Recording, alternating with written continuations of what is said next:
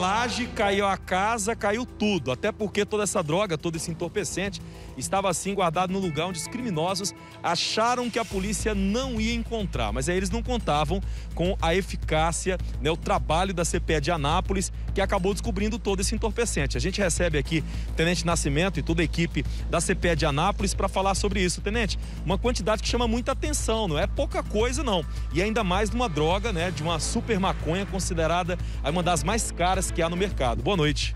Sim, boa noite, Fred. Boa noite a todos que nos assistem. Na data de ontem, a equipe de CPE de Anápolis, em patrulhamento pelo setor residencial Flor do Cerrado, avistou motocicleta de atitude suspeita.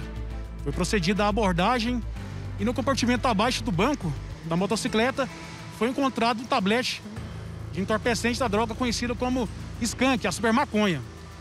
Em entrevista com o abordado, este informou às equipes que em sua residência havia mais do entorpecente.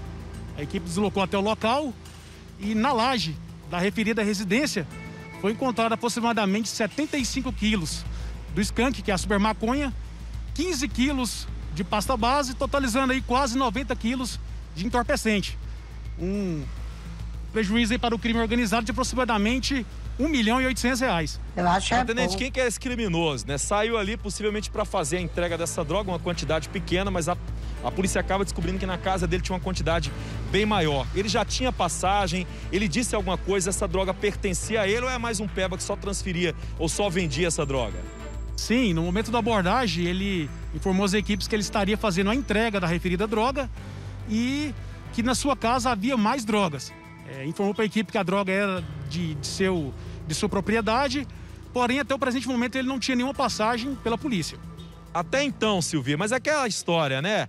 A gente sempre viu isso aqui várias vezes no Cidade Alerta e a gente fica se perguntando: será se essa droga é realmente do Peba? Porque mais de um milhão de reais. Às vezes esses criminosos eles ficam responsáveis por guardar, por armazenar, por distribuir essas drogas. Mas aí fica aquela dica: se vai trazer para o estado de Goiás, já vem contando que é prejuízo certo. Aqui a polícia não dá mole. Anápolis, a CPE está trabalhando muito, a gente tem mostrado isso aqui com muita frequência. Então, assim, não adianta. E ainda mais, Silvia, quem está lá agora é Fábio Costa, irmã. Imagina só, junto com essa galera aqui, vai dar mole para criminoso lá não, viu?